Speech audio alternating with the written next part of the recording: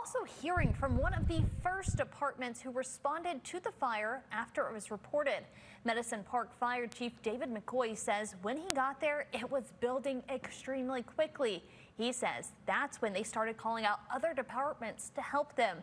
Chief McCoy says they ended up with every fire department in Comanche County, Lawton, and Fort Sill in hopes of containing it.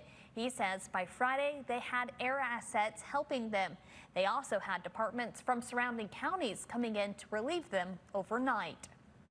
There was a lot of personnel out there. There was a lot of hard stuff to get to. A lot of we had to do on foot. And the food that people were bringing, the supplies, the baby wipes, the water, the Gatorade, you know, you just don't realize how much you appreciate that. You've been out fighting fire for eight or 10 hours and then you get some good hot food. It was, it's really great to see our community step up. He says they've had grocery stores from Lawton, Elgin, and the surrounding areas donate, along with several local restaurants.